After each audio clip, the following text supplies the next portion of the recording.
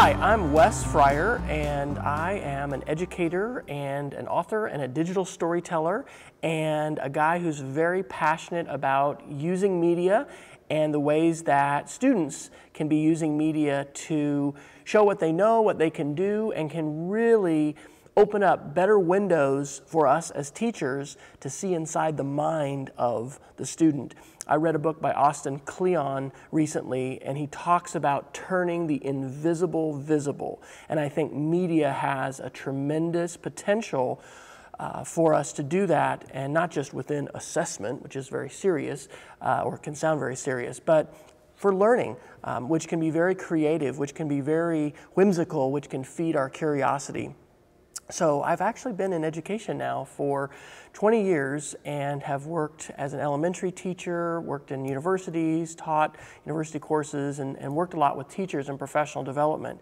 And about four years ago, uh, when I wanted to write my first book, I, of course, had to come up with a title and a theme, and this idea of playing with media really resonated with me. Um, the work of a lot of folks, um, John Seely Brown, uh, Mitch Resnick, the lifelong um, uh, kindergarten group at MIT, a lot of groups that, or a lot of thinkers that recognize how important it is to have really a virtual sandbox to play and to become comfortable using tools. And so that's where this playing with media project started.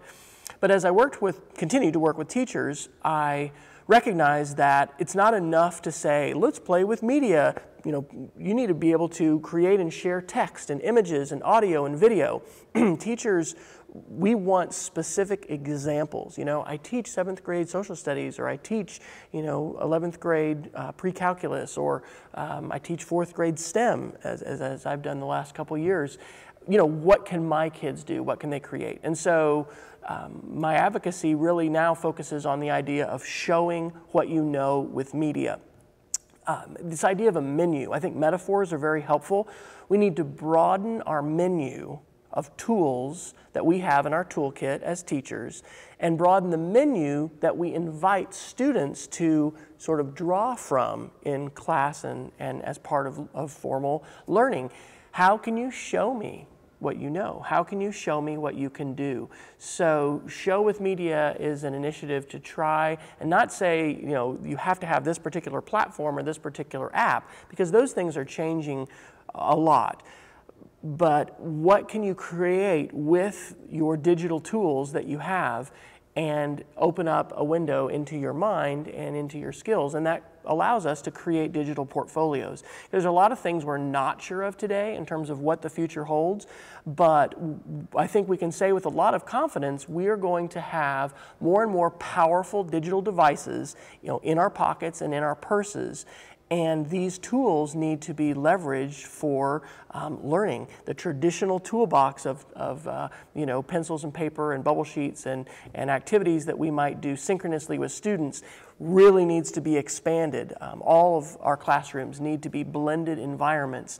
And we need to look at the ways that we can use media to tell our stories, um, to share what we're passionate about, and really to amplify ideas and amplify learning. And it's so exciting to be able to make connections with others and to have that audience. And so I think playing with media, showing what you know with media, these are things that we need to be doing at all levels of education because we're inspired by those examples. And as you share what you're doing, what your students are doing, um, as I share those, uh, it's, it's this great cycle and process of inspiration and uh, innovation that happens when we have chances to be sparked by the, uh, the media products and the ideas of others.